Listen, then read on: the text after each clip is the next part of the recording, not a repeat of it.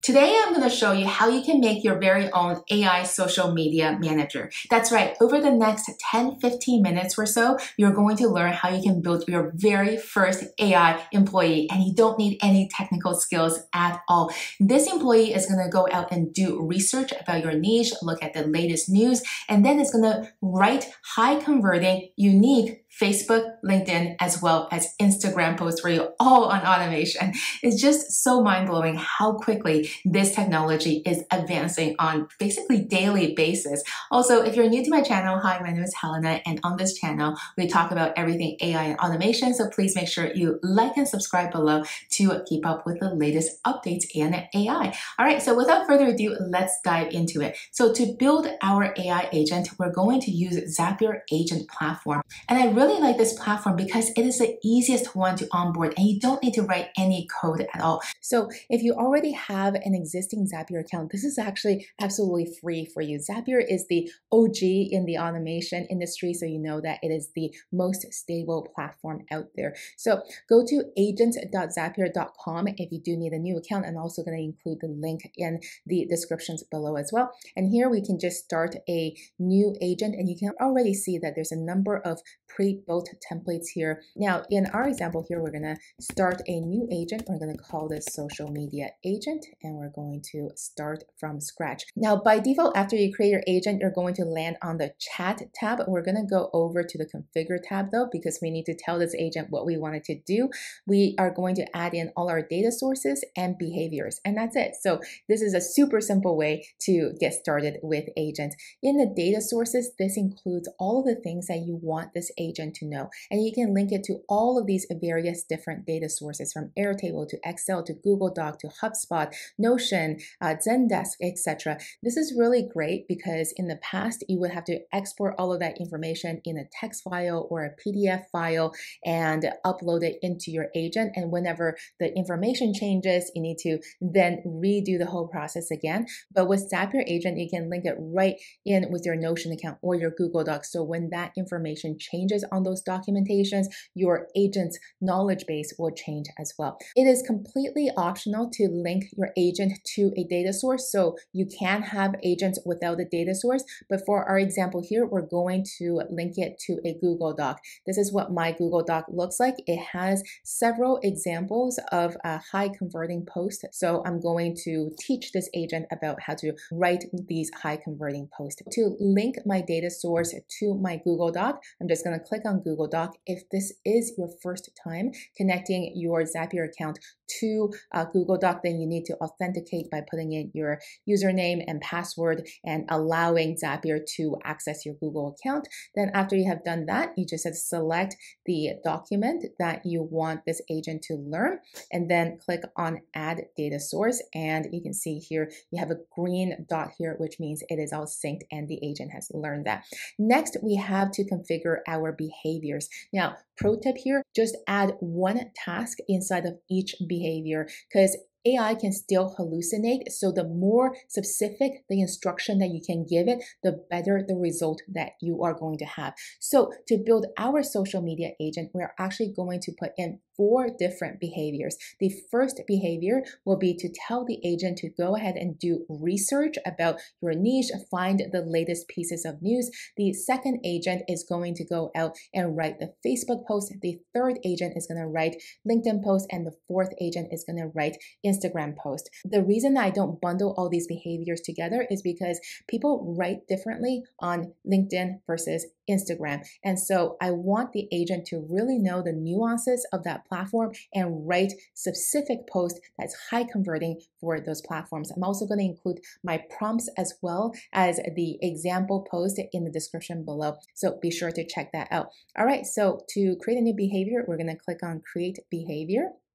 And the trigger here is when we want this specific behavior to be performed. The first behavior we're going to do is the research agent, and we're going to use the schedule trigger. So basically, we want this agent to go out and do research about our niche on some sort of frequent basis. This could be daily, this could also be weekly. I'm going to do uh, daily and I can choose the time of day that I want this agent to go ahead and do this. Let's say it's 7 a.m. every morning and I'm going to save this. Now in the instructions, and this is where you put in your prompt telling the agent what you want it to do. Okay, so I put in my prompt for the research agent, and here's the instructions I have given to the AI. I said, Your goal is to identify and compile a list of AI related brands and companies that are being covered in the news online. So when you're using this prompt, which I'll include in the description below, uh, feel free to just change this to whatever your niche may be. And I told it to conduct the research every day about news that was published yesterday.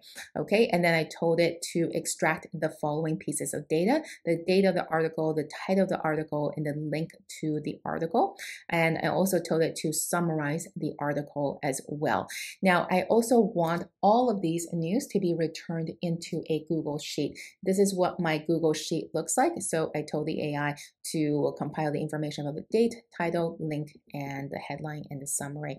And to link this Google Sheet now to this agent, I just had to press insert action up here, and then I will search for Google Sheet. And once I click on Google Sheet, I can see all of the actions that I can perform.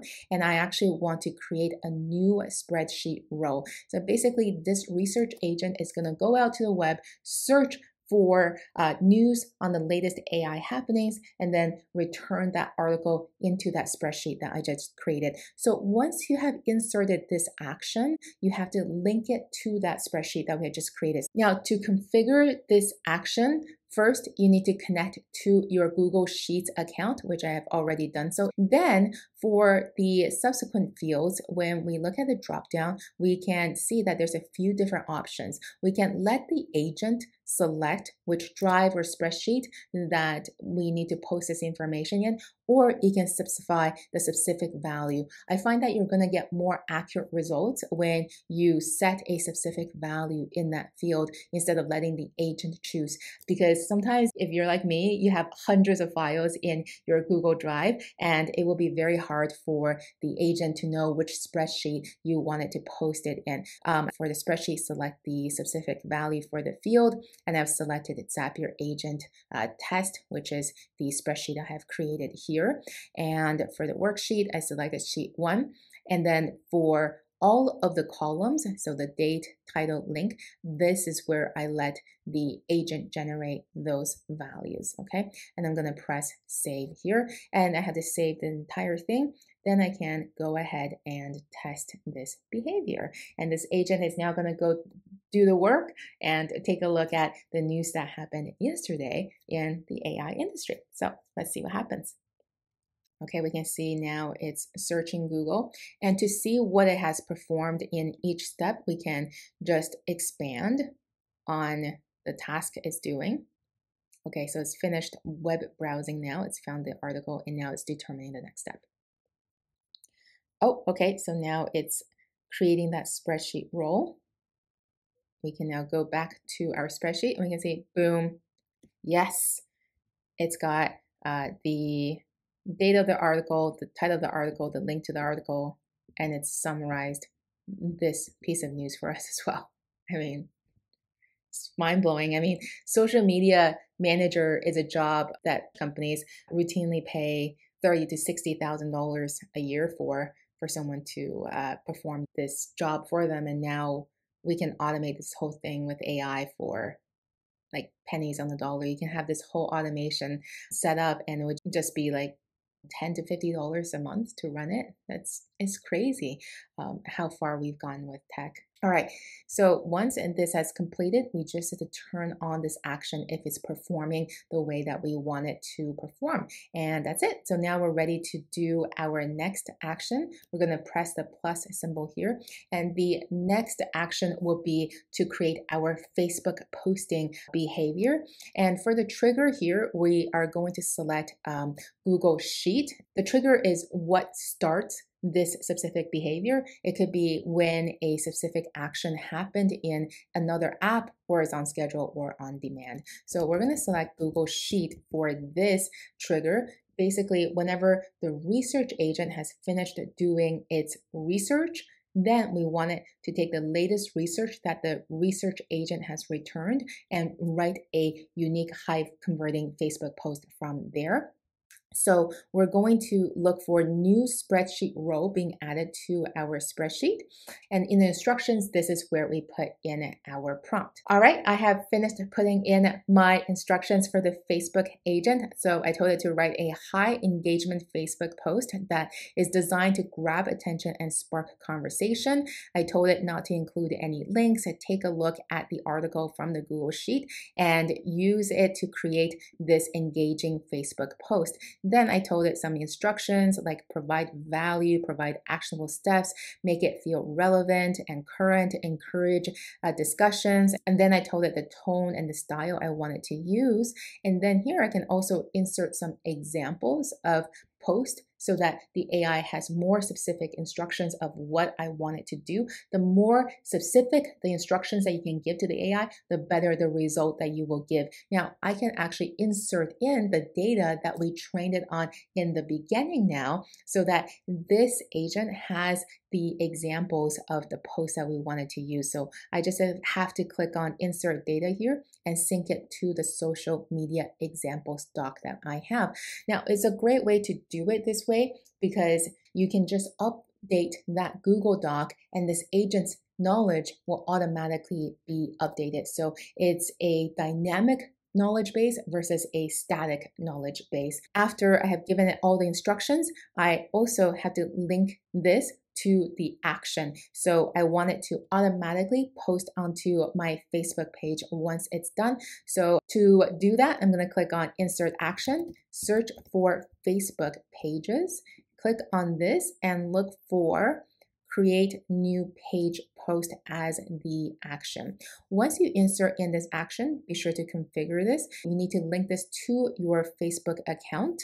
If you have multiple pages in your account, select the page you wanted to uh, insert. And for the message, uh, photo, and uh, link URL, I, I just let the agent generate those values. And I'm going to press save and save this entire action. Now let's go ahead and test this behavior.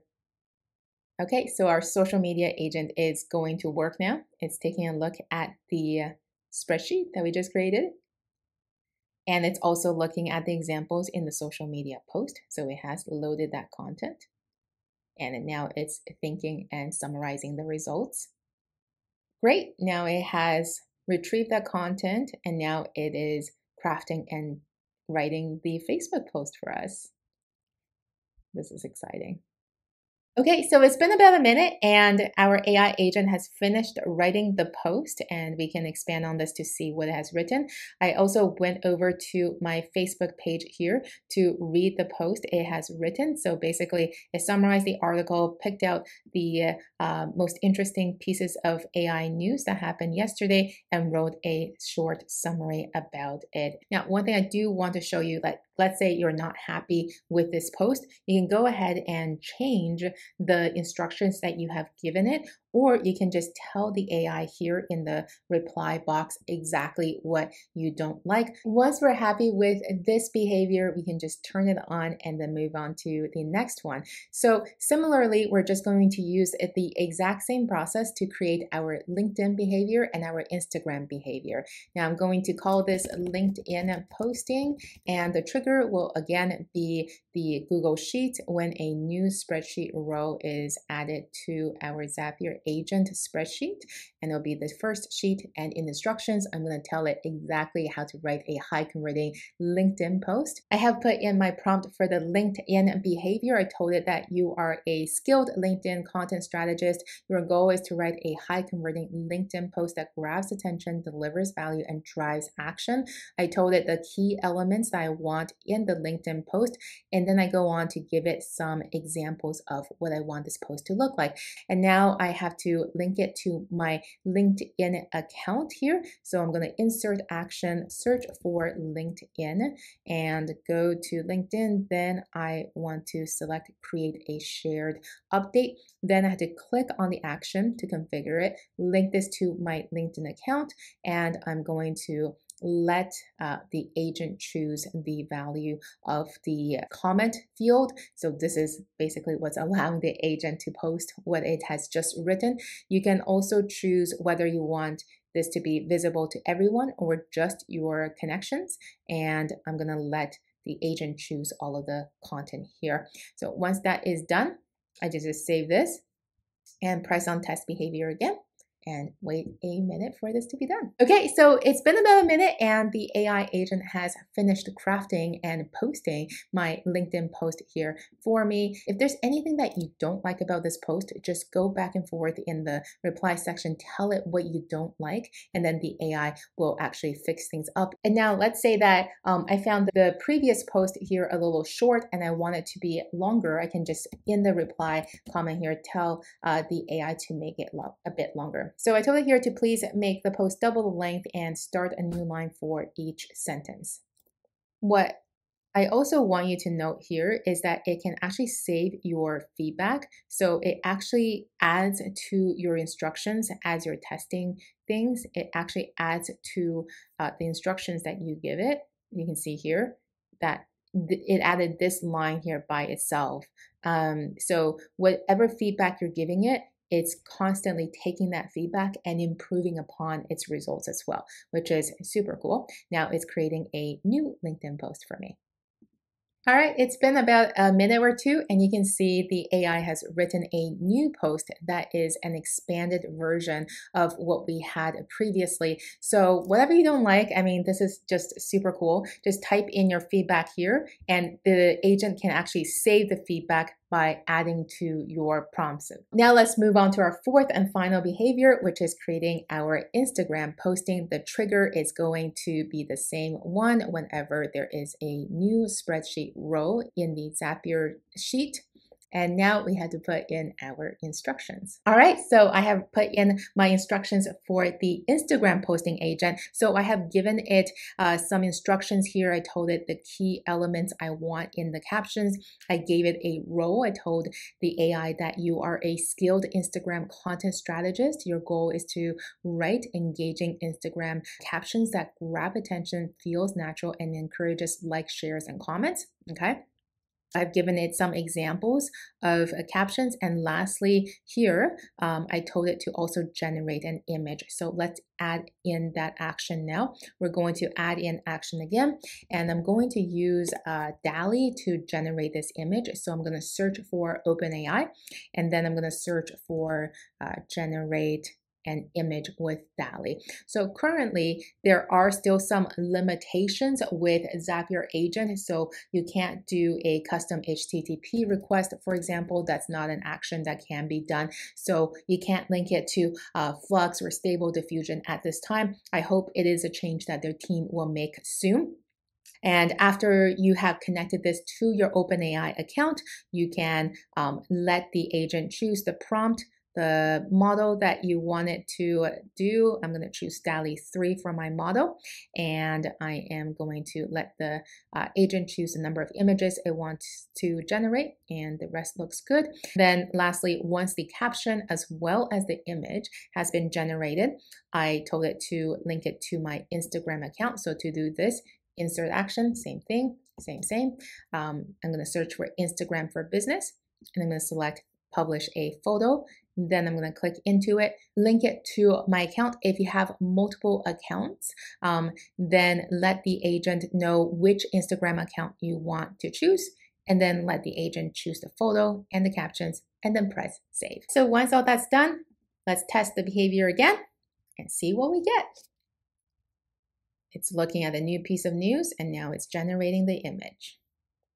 Okay, great. It's been about two minutes and we can see that the AI has generated an image for my Instagram account that is related to the news article it has found and it has written a pretty good caption here as well. So if you don't have any kind of like social media presence, like do this, set this up, and then you have an completely automated system that will post on all the platforms for you. This is such a game changer. I hope you're starting to see the power of AI and automations. I hope you will give this a try. If you got anything on this video, please like and subscribe. I also have a free AI automations course that you can sign up for as well. I'll also include the link to the Zapier agent and all of the prompts that we used in this video in the description below as well. So make sure you check that out. Thanks so much for joining me today, and I'll see you next time.